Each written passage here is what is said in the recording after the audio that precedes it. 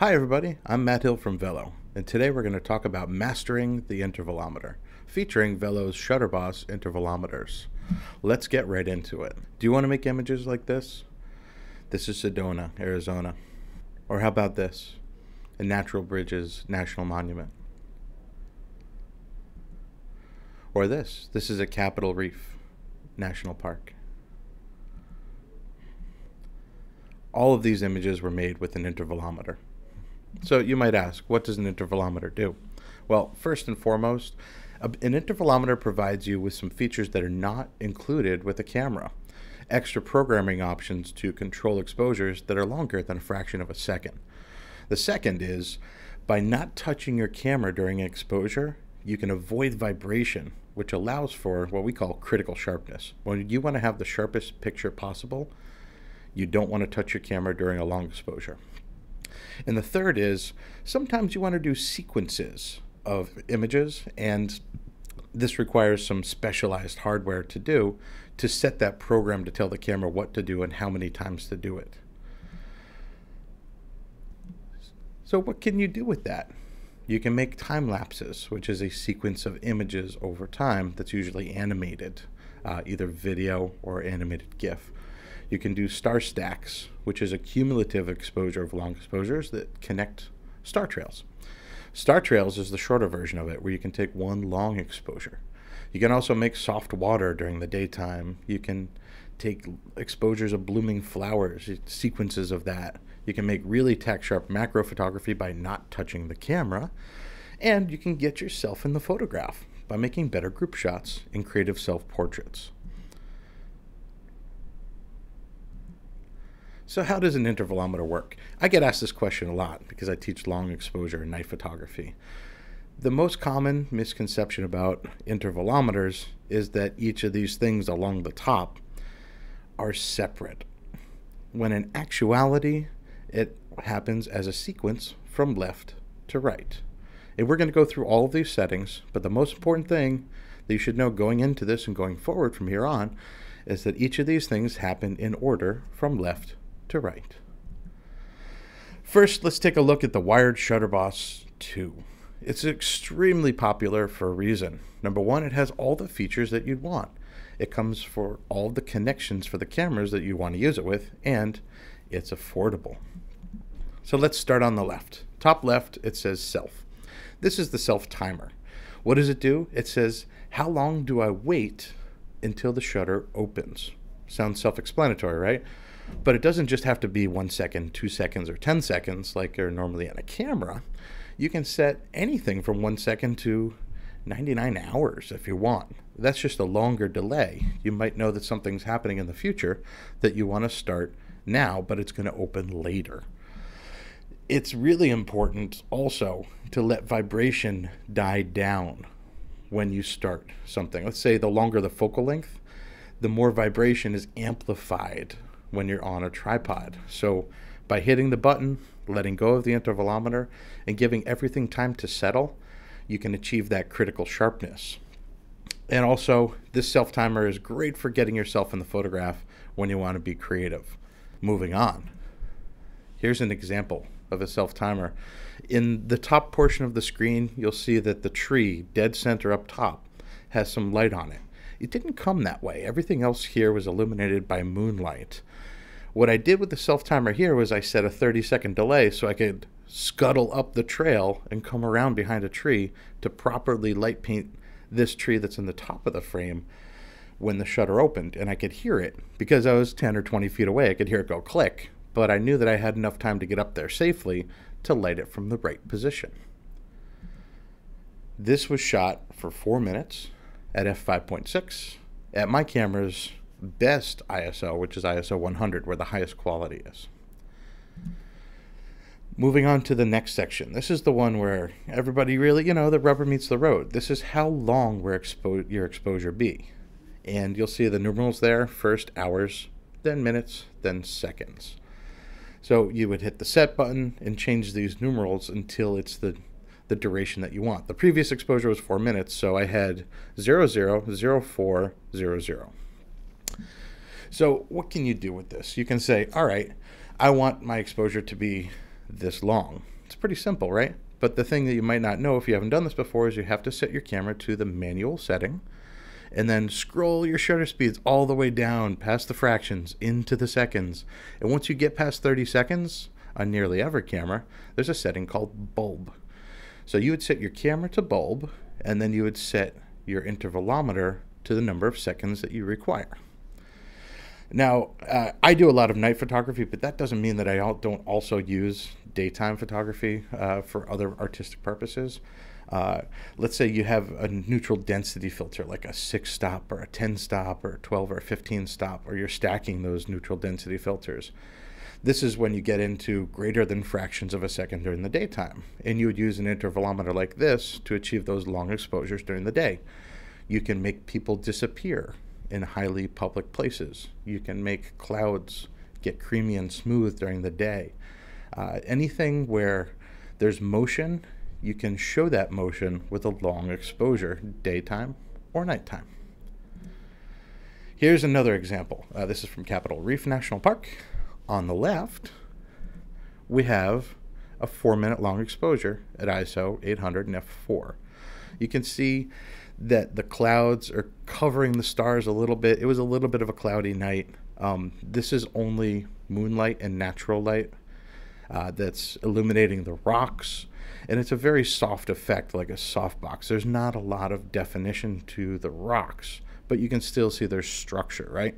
And of course, the stars are in apparent motion. It's actually us that's in motion, not the stars. Uh, so the stars have this radial blur because we're not pointed right at the, the North Star. But the one on the right, where I have my friend Steve up front, uh, this is only 30 seconds long. And because I was using a 15 millimeter lens, the stars are points. Uh, if you want to learn more about when stars blur and when they don't, I suggest taking a workshop or checking out YouTube. There's lots of people out there that will teach you the 500 or the 600 rule. You can Google that. So this is only 30 seconds long. And because at 30 seconds, I didn't get enough illumination in the foreground, I did some light painting off to the right. So I combined the self timer with the 30 second exposure, which gave me enough time to swing around to the right and light paint those rocks from the right hand side, bringing out the detail by adding shadows. And then Steve stood down there with his flashlight steady and still for 30 seconds, giving this opportunity for you to understand the scale of these rocks, which is missing from the one on the left. So, how do you choose how long an exposure should be? Practice, uh, pre visualization, and knowing what you want to bring out of a scene. The photograph on the left is successful, it shows time passing, but a photograph on the right has more drama because of the human in it and the scale and the relationship to the environment. And that's one of the things that having an intervalometer does. Uh, it provides you with the opportunity to uh, explore these options with more, uh, uh, you know, technique and deliberate action. The next thing over, the third one over from the left, is interval. This is how long in between exposures. If you're taking more than one exposure, you need to set the duration between exposures. In night photography, we generally don't have this set at longer than one second because generally we're doing star stacks. During the daytime, however, if you're doing a time lapse, you may want to set this to 2 seconds, or 5 seconds, or 10 seconds, or 30 seconds, or 5 minutes, and take a picture, however long it may be, and then wait 5 minutes, and then take another picture, with the intent to put these into a sequence to show the passage of time. So you would, if a video runs at 24 frames a second or 30 frames a second, you got to keep in mind while you're calculating this, how many frames do I need to achieve a specific clip length to show the amount of time and how frenetic is that energy. And I'll show you some more at the end, uh, some examples of those. But you can also document sequential events, like if a building is being constructed or destructed, or if you want to capture wildlife migrating or coming to a water hole or a storm rolling in, you can create sequences by setting the appropriate amount of time in between the frames so that when you animate it, it, it looks a lot better because there's still frames properly exposed, and that's different than video, which this will always be superior uh, using a photograph like this. Moving along, we have what this says NO, which is an abbreviation of number. I say quantity. How many exposures do you want to take? I often use one unless I'm doing, uh, I'm shooting with the intent to make a, a star stack.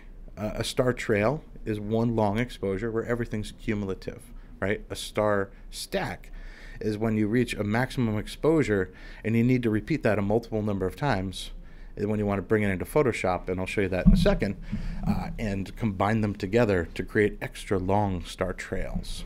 So if you don't know how many shots you're going to do, but you know you want to keep shooting until either A, you're satisfied, B, the thing that's happening in front of you stops happening, uh, or C, your battery runs out, then you can set that number to the two horizontal dashes, which is infinity. And it'll just keep shooting until you tell it to stop shooting, or batteries run out, or your card is full. Here is a shot, uh, another shot from Capitol Reef.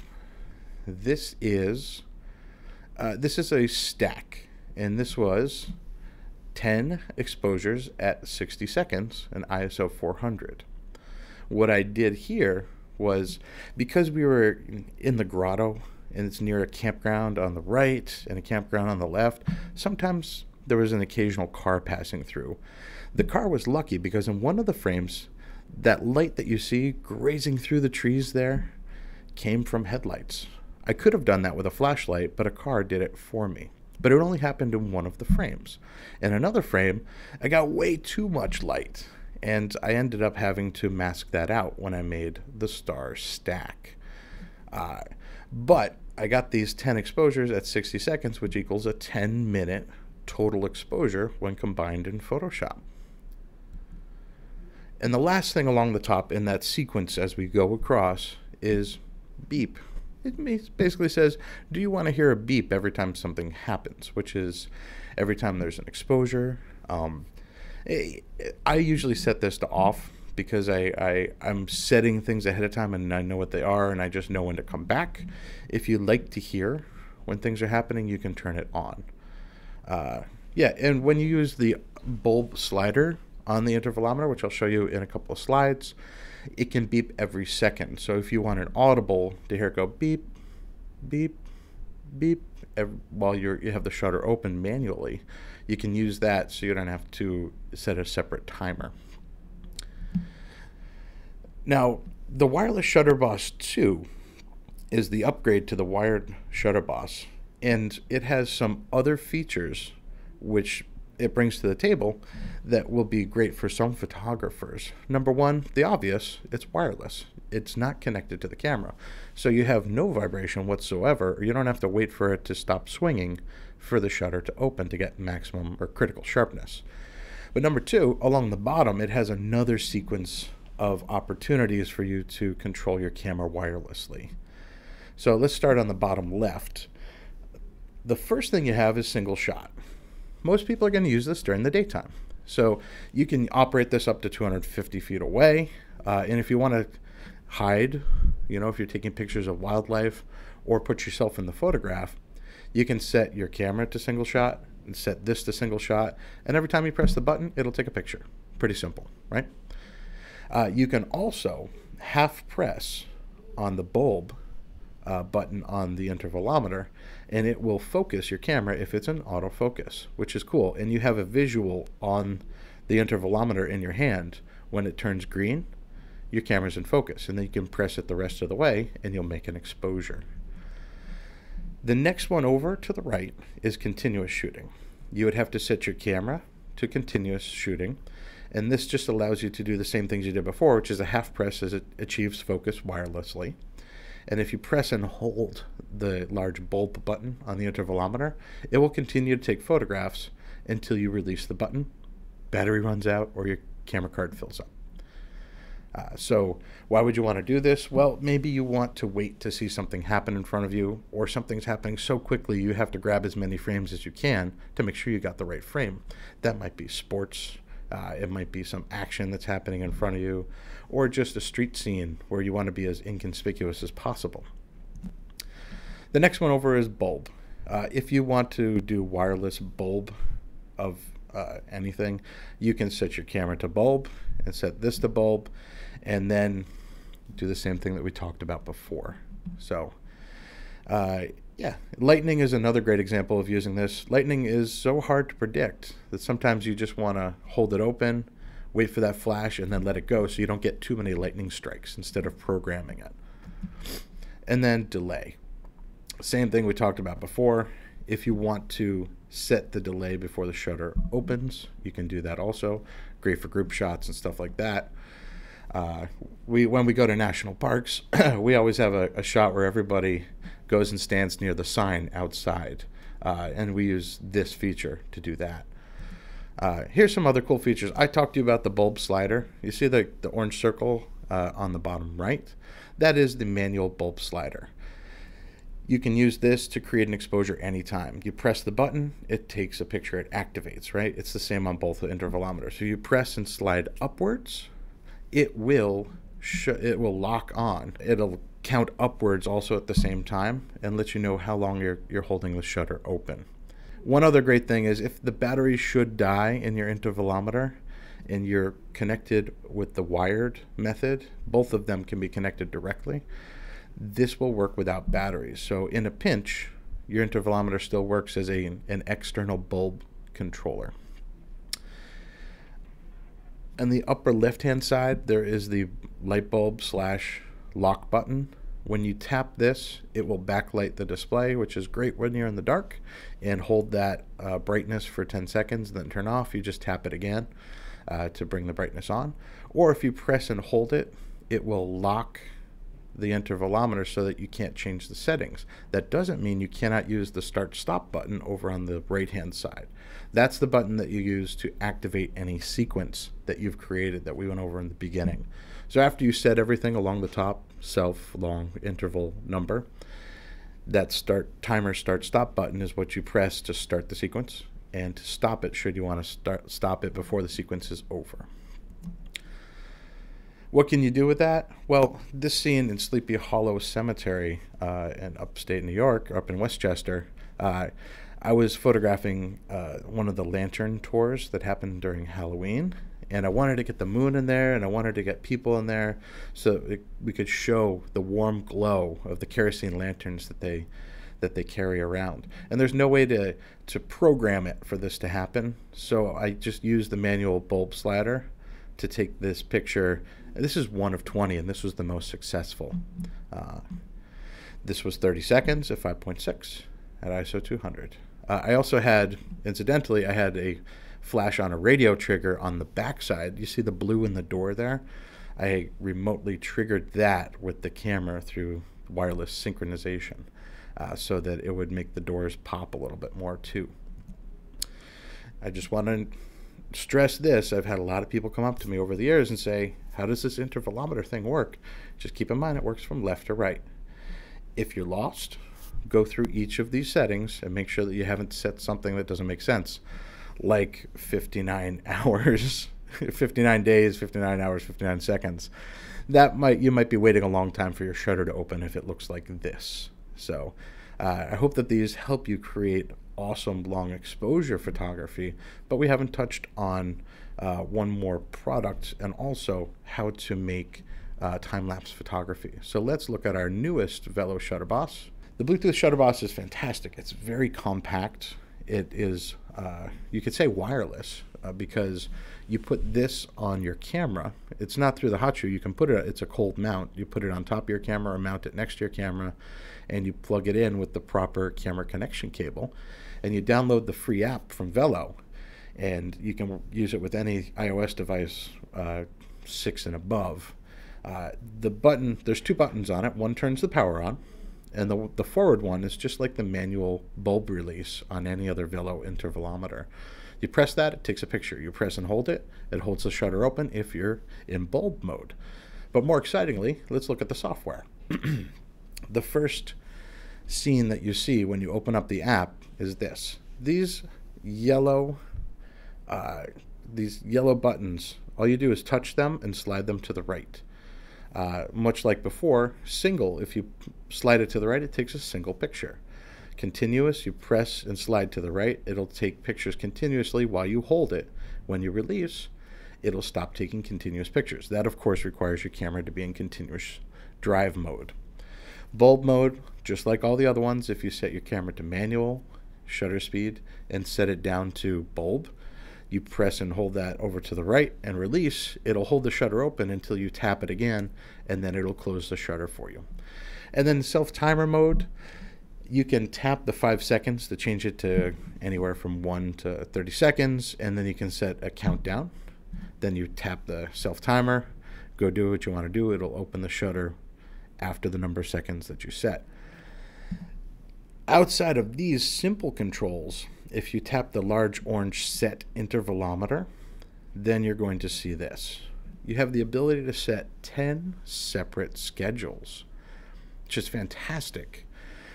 Why would you want to do that? Well, let's take a look at what a schedule is. A schedule is basically one sequence, like we were talking about with the Shutter Boss 2, the wired one, or the wireless Shutter Boss 2.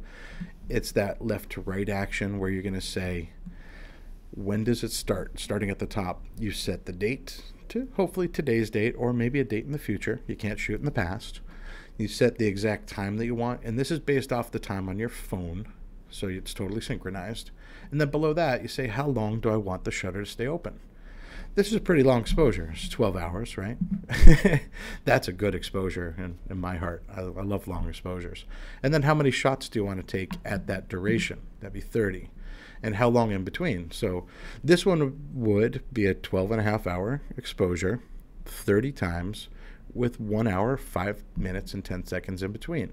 It's sort of an unrealistic setting. However, I just wanted to show you the power of what we can do here. And then when you're done with that, you click activate and it sends that program over to the Bluetooth Shutter Boss via Bluetooth. And then that Shutter Boss will wait until that very moment and start executing this schedule or this program for you. And then you can go move on to schedule two, which will automatically set the date and time to the next possible exposure for you and schedule up to nine more of them. If you want to cancel at any time, you can do two things. One, you can click cancel all on the app that you have, or you can just turn the power off on the Shutter Boss. Uh, either of those work. Uh, so here is a time lapse that my colleague Sean Collins made.